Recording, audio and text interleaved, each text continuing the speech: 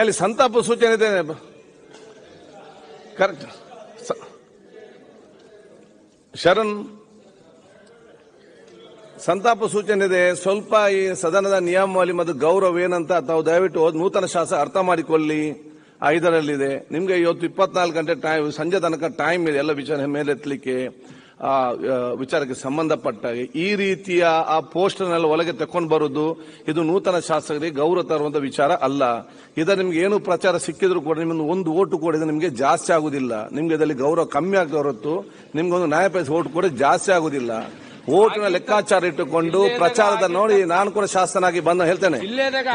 ಓಟಿನ ಲೆಕ್ಕಾಚಾರ ಇಟ್ಟುಕೊಂಡು ಬಿಟ್ಟಿ ಪ್ರಚಾರ ಸಿಗ್ಬೇಕೆಂಬ ಲೆಕ್ಚಾರ ಹಾಕಿಕೊಂಡು ಇದೊಂದು ವಿಚಾರ ಬೇಡ. ನಿಮ್ಗೆ ಎಲ್ಲ ನೀವು ರೈಟಿಂಗ್ ಅಲ್ಲಿ ಕೊಡಿ.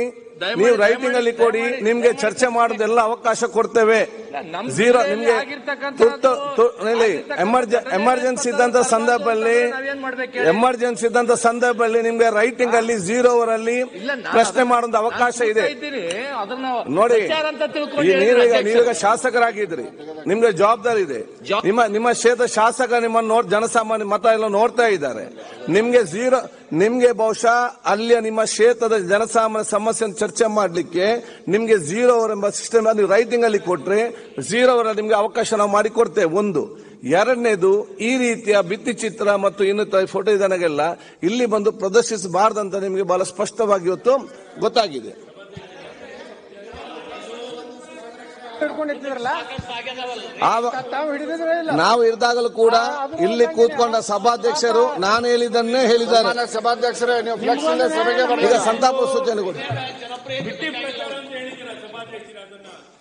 ಆಯ್ತು ಅದನ್ನ ತೆಗೆದು ಬಿಡಿ. ಈಗ